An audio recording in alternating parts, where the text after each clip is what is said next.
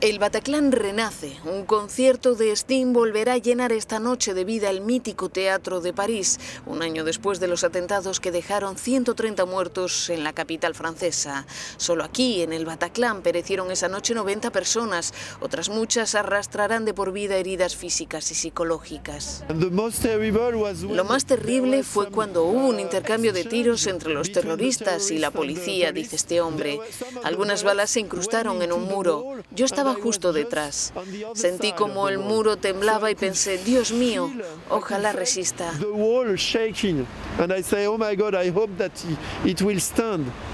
El periodista de Le Monde, Daniel Seni, trabajaba en su casa cuando oyó tiros.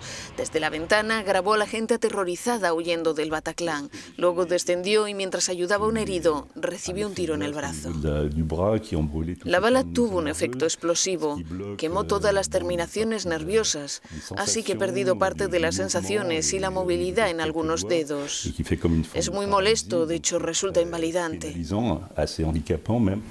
Gregory Ravenberg ha dejado impreso en un libro todo su dolor.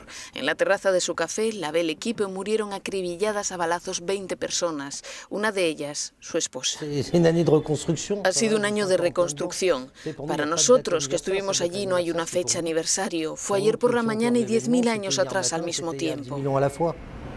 Un año después, nueve personas siguen hospitalizadas. Hay víctimas paralizadas y con daños irreparables. Más de 600 siguen recibiendo tratamiento psicológico.